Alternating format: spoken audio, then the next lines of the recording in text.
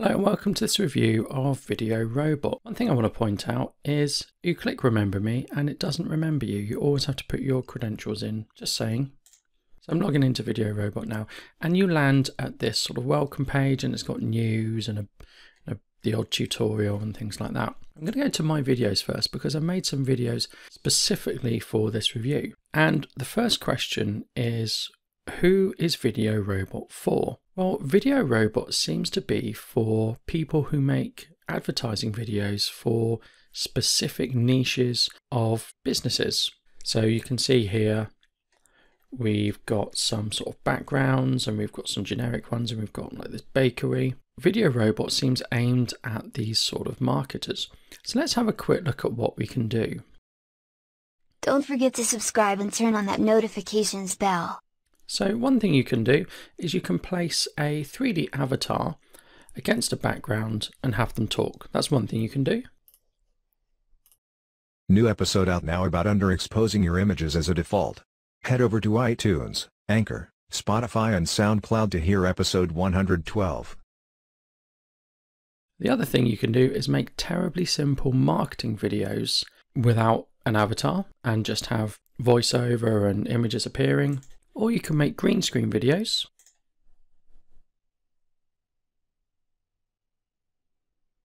Or you can make what I call kinetic animations and you can make these explainer videos. However, there's a huge caveat with that. So that's what you can do with Video Robot and let's have a look at how we go about making one. First of all, we click on create video up here and we can make a video using 3D avatars.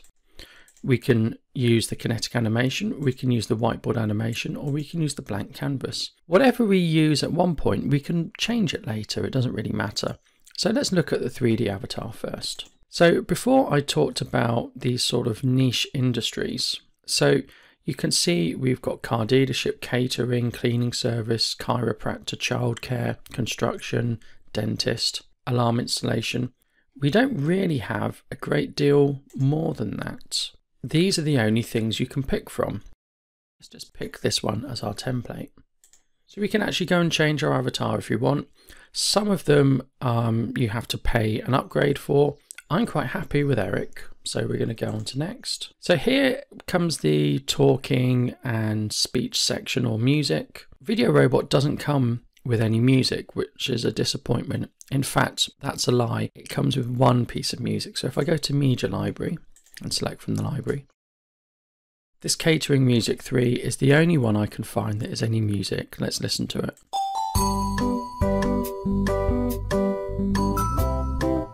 That's enough of that. All the others are voices because all the others are these ready-made voiceover templates. Because I picked a template, I have already within it a voiceover does your vehicle have a cracked windshield or chips that could potentially turn into cracks? If so, what I can do is I can type in some text and I can convert it to speech, which is a very good feature of Video Robot. And to be honest, one of the features I'm likely to use. So I can see this is a templated one for someone who has a cracked windscreen. I'm just going to type in, hi, how are you? We have to click import speech. If we want to change the voice, we have to click import speech again. And I'm just going to play that back. Hi, how are you? Now what will happen is the avatar will lip sync to that speech. So I'm not going to fill this section out. I'm going to go to next. So here we generate our preview. Now I talked earlier about it doesn't really matter what template you use because you can customize it later.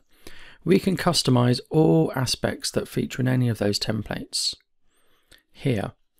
So we can add in different media, we can change the text, we can have an out intro, an outro, we can change lower thirds, we can add text animations, text effects, and we can even add those whiteboard features. So we can customize it as we want. I guess if you don't want a 3D avatar, then you can start with a kinetic template example. So all of these I can change. Here's my actor. I can resize him if I want. Let's resize and put him there. Apply that. So then if I want to go and create my movie, I click create movie, give it a title, pick HD or 720, click that. I can make it into a GIF because I paid for an upgrade, but I'll talk about that later. So create the movie. And I've got to wait for my movie to render, but it doesn't take too long. Hi, how are you? Now I can go and download the movie if I want to. The movie files tend to be very small in their size, which is good. And I can go back and I can edit a pre-made video. What I can do, which is really quite good, is I can change the language. So if I click on import speech, I'm using Chantal and I go to next, go right to the end, go and create my movie call it test 12 and this is Canadian French.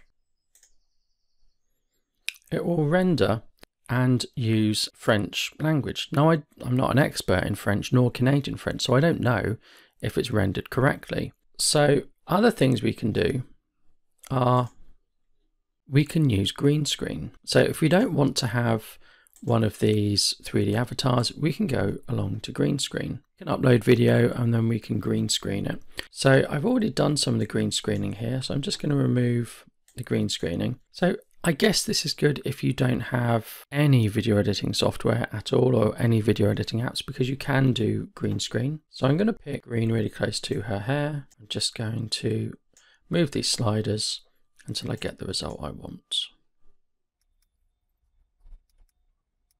So this person's got long wavy hair, so it's never quite going to be a seamless effect. But yeah, I've got rid of all the green there. See, we've lost a bit of detail in her hair, but there's not much we can do. We can give a voiceover if we want to, or we can just pick some music. Let's go and pick some music. Let's pick Catering 3. Of course, we can pick the scripts that have already been made. So here we are. You can see, even though it looked quite good when we did the green screen, you can see we've still got some green here. So the green screen is going to require an awful lot of trial and error to get it really good. So it is possible to upload your own media to Video Robot, and you do get some media included and you do get a vast amount of bonus media included, but you have to go and download that yourself and then re-upload it, which I think is incredibly annoying. So we can go and get royalty free music and royalty free images and other things, but we have to go to Google Drive and download it and then we have to re upload it, which I think is a real pain in the neck. And I'm very surprised that they do it that way. So I talked earlier about other things you can do. You can make these kinetic animations. So here's one I've made.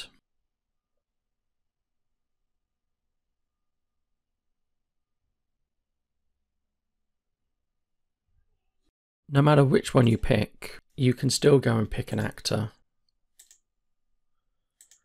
And then you can do all your adjusting at this stage. So it is possible to make videos without the 3D avatar or without a green screen you can do that if you want and you can go into here and you can change your lower thirds you can pick different ones and you can go and customize them and so on and so forth. Who is video robot for?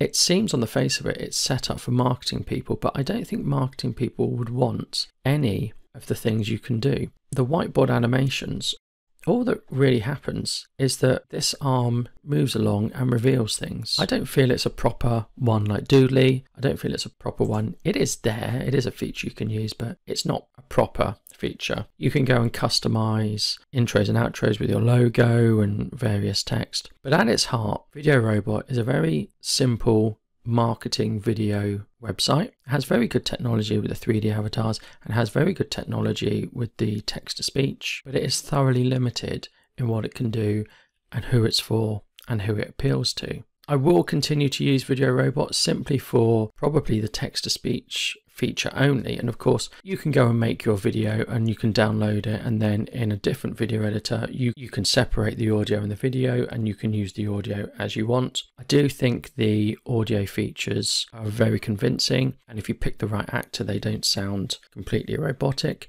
And I also think it's a bonus that you can use different languages. One thing I will show you